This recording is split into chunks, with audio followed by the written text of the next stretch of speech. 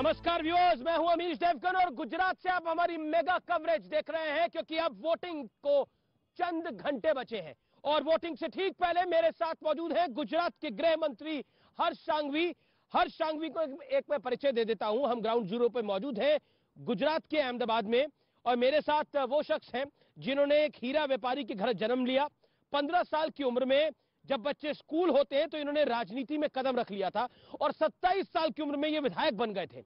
और गुजरात में सबसे कम उम्र के विधायक बनने का इन्होंने रिकॉर्ड भी बनाया। और आज गुजरात के गृह मंत्री हैं, हर्ष सांघवी, आपका अभिनंदन है। यहाँ पर थोड़ी जो पब्लिक मौजूद है, वो जोरदार ताली से स्वागत कर रही है। बीजेपी दावा कर रही है, पहला राउंड हो गया है। अगले राउंड को अब कुछ घंटे बचे हैं। बीजेपी दावा कर रही है कि बीजेपी इस बारी जीत के सारे रिकॉर्ड तोड़ देगी। लेकिन कांग्रेस का फॉर्मूला ज़बरदस्त है और वो कहती है कि ओबीसी समाज से सीएम होगा, जबकि तीन उप मुख्यमंत्री होंगे। पहला दलित समाज से, दूसरा आदिवासी से और तीसरा अल्पसंख्यक समाज से। देखिए, ये चुनाव जी, गुजरात की हित का चुनाव है। ये चुनाव संबंधों का चुनाव है। 27 साल से चल रहा यह संबंध और तेज़ी से आगे निकलने वाला चुनाव है। भारतीय जनता पार्टी और गुजरात की जनता का जो विश्वास है, जो संबंध है, उसको आगे ले जाने वाला यह चुनाव है। यह चुनाव गुजरात की जनता लड़ रही है। एक तरफ़ भारत तोड़ने वाली शक्तियाँ गुजरात तोड़ने की प्रयास जो कर रहा है जी। वो शक्तियों को परास्त करने वाला ये चुनाव है। और ये चुनाव में गुजरात की जनता जी। गुजरात के हर एक कोने से भारतीय जनता पार्टी का कमल खिलाने के लिए तैयार है। और मैं देख पा रहा हूँ लोगों की आँखों में एक सपना है कि 27 साल के ये संबंध को बरकरार रख के गुजरात के विकास की गति को और तेज़ी से आगे बढ़ाना है। आपका तो सपना है कि आप दोबारा सरकार बनाए और आप प्रयास भी कर रहे हैं लेकिन दूसरी तरफ़ सपना है कि ये सरकार को लोगों की आँखों में है गुजरात की जनता की आँखों में है ये कांग्रेस की आँखों में भी एक सपना है। कांग्रेस की आँखों में ये सपना 27 साल से है। वो सपना दिन में देखते हैं हम सपने नहीं लोगों के बीच में रह के काम करते ये बहुत ही बड़ा फ़र्क है। अच्छा अरविंद केजरीवाल भी इस बार सपना देख रहे हैं। उनको लग रहा है कि आप जिस इलाके से आते हैं सूरत से कि इस बार आ, वो वहाँ पर जलवा बिखेर देंगे मतलब बहुत अच्छी जीत हो, होगी उनकी वो ऐसा बोल रहे हैं। देखिए उन्होंने तो सरकार बनाने का दावा भी कर दिया। है अमीश जी आप तो आर पार की बात करने वाले व्यक्ति हो। जी। मैंने आपको कई चुनावों में ग्राउंड ज़ीरो पे देखा है।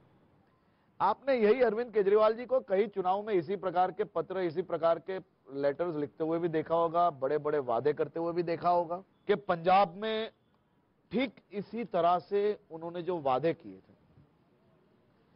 वो पंजाब, जिस पंजाब में से सबसे ज़्यादा युवा ये देश की सरहदों की सुरक्षा करते हैं और वो सरहदों पे सुरक्षा करने वाले मेरे देश के जवानों की माता पे जिस प्रकार से उन्होंने दमन चलाया है जिस प्रकार से लाठी चार्ज किया पंजाब के मुख्यमंत्री आज पंजाब में जवाब नहीं दे पा रहे इसके लिए ही वो तो आपके गुजरात- मेहमान बने हुए हैं गुजरात हम तो हम तो मेहमान गति करने वाले लोग हैं। जी। आपने भी गुजरात की मेहमान गति देखी होगी कई सालों से आप देखते हो।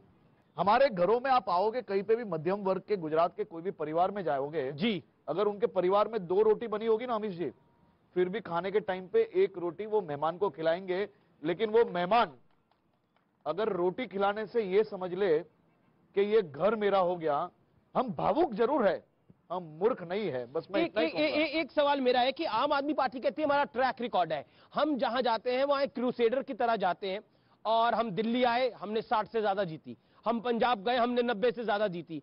क्या आपको लगता है उसको देखकर आपको लगता है कहीं ना कहीं एक अ, अ, भारतीय जनता पार्टी को आने वाले भविष्य में एक खतरा हो सकता है आम आदमी पार्टी से गुजरात में खास तौर पर। अरविंद केजरीवाल जी का एक और भी ट्रैक रिकॉर्ड है। जी। मेरी आपसे विनती है वो ट्रैक रिकॉर्ड भी अच्छी तरह से देखना चाहिए। उनका ट्रैक रिकॉर्ड अन्ना हजारे जी से अच्छा कोई नहीं कह सकता ये देश में। एक बुज़ुर्ग व्यक्ति को कई दिन भूखे रखा और ये बुज़ुर्ग व्यक्ति को भुकार रख के अपनी राजनीतिक मनसा जो सपने थे वो पूरे करने वाले व्यक्ति का नाम है अरविंद केजरीवाल। अरविंद केजरीवाल को अब जनता जान चुकी है। दूसरी तरफ़ कहा जाता है कि आप लोग पोलराइज करने की कोशिश करते हैं यूनिफॉर्म सिविल कोड के थ्रू और भी कई सारी बातें आई। अब 2002 पे की बात आ गई गोदरा की बात आ गई ये पलटवार होता है दूसरी तरफ़ से। गुजरात के चुनाव में राजस्थान के मुख्यमंत्री अशोक गहलोत जी। जी। कुछ दिन पहले वो गुजरात आए थे। उनकी सालों से जिस प्रकार से हर चुनावी सीज़न में वो कहीं ना कहीं पोलराइजेशन करने का जो प्रयास करते हैं उसमें ये वक्त। मेरे देश की एक बेटी श्रद्धा का खून होता है। श्रद्धा का खून कोई सामान्य खून नहीं है। पैंतीस टुकड़े किए गए। पैंतीस टुकड़े किए गए। वो खून को वो दुर्घटना मानते हैं। वो खून को वो दुर्घटना इसलिए मानते हैं क्योंकि कहीं ना कहीं चुनाव में माइनॉरिटीज के वोट किस प्रकार से लिए जाए उसके लिए उन्होंने एक बहुत ही बड़ा प्रयास किया। उन्होंने ये नहीं देखा कि श्रद्धा जैसी कई बेटी न्याय की मांग के साथ बाहर निकले हैं। श्रद्धा मर्डर कांड के आरोपियों को दुर्घटना मानते हो वो उसको बचाने की कोशिश करते हैं। श्रद्धा का हत्यारा है वो और हत्यारा का आफ्ताब। अगर उनको लग रहा है कि आफ्ताब को बचाने से वोट मिल जाएँगे तो वो राजस्थान के कोई भी चौराहे में उसका पुतला लगा ले हमें कोई तकलीफ़ नहीं है। लेकिन लेकिन देखिए एक मैं मैं मैं सवाल पूछता हूँ आपसे। अगर आप गोधरा की बात करते हैं 2002 की बात करते हैं देश के गृह मंत्री कहते हैं कि देखिए हमने कैसे सबक सिखाया और उसके बाद से अभी तक दंगे नहीं हुए हैं तो इसको पोलराइजेशन इफ़ेक्ट माना जाता है। ओवैसी कहते हैं कि बताइए ये तो खुलेआम बोल रहे हैं।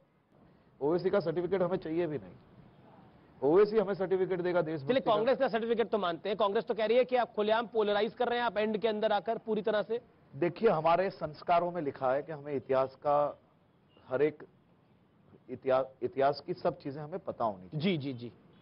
तो इतिहास में किस प्रकार का दमन कांग्रेस के राज में गुजरात के लोगों पे होता था वो आज के युवाओं को पता होना ज़रूरी है। गोधरा की एक एक बातें जो कही है वो मात्र और मात्र युवाओं को कांग्रेस का सही रंग क्या है? वो बताने की कोशिश है इसमें सांप्रदायिक कोई बात नहीं है उसको गलत तरीके से लिया अब यूसीसी को भी सांप्रदायिक रंग से देखा जाता है जो कि चुनाव से एन पहले आप लोगों ने किया। यूनिफॉर्म सिविल कोड ये राज्य के सभी धर्म के नागरिकों को जी। एक समान कानून का लाभ मिले उसमें कांग्रेस के पेट में क्यों दर्द हो रहा है? अरविंद केजरीवाल जी को इसका क्यों विरोध होना चाहिए भाई? सभी नागरिकों को एक समान कानून का लाभ मिले उसमें तो सबको आगे बढ़ना चाहिए। कांग्रेस और आम आदमी पार्टी काउंटर क्वेश्चन है चुनाव से एन पहले क्यों? देखिए कांग्रेस और आम आदमी पार्टी ये पूछ रही है कि नेकी में भी मुहूर्त निकालना चाहिए।